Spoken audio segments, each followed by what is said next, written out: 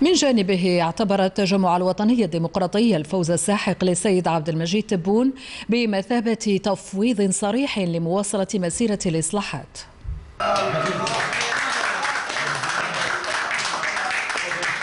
سجلنا بكل ارتياح هذه النتيجة وهذا الفوز الساحق للسيد المترشح عبد المجيد تبون الذي أعطاه الشعب الجزائري تفويضا صريحا وبكل قوة لمواصلة المشوار بنتيجة